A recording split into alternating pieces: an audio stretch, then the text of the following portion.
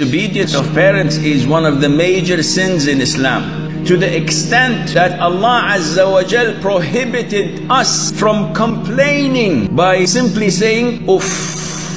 Among the best deeds any person can offer in his life is to be kind to them. By default, when people are kind to you, you must be kind to them. There's no test in this for you. The test is when your parents are not kind to you. They're abusive.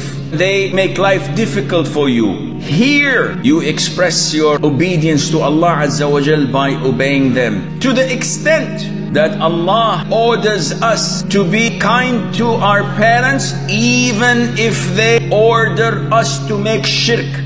Our biggest problem is that we do what we do not for the sake of worshipping Allah Azza wa Jal.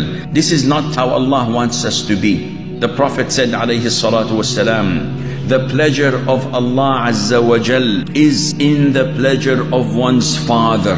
And the anger of Allah Azza wa Jal is in the anger of the father. The mother in Islam has great importance. Paradise is at the feet of your mother. The mother has three times the need of you being good to her than your father. Your mother stayed with you so many years, each day and each night. When you had your fever, she was next to your bed.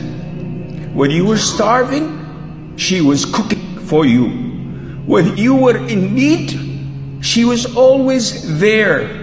Now, at the autumn of her life, do you kiss her hands and feet every time you see her? Do you show her how valuable, how important she is in your life? Or you make her feel that she's nothing but a person waiting to die?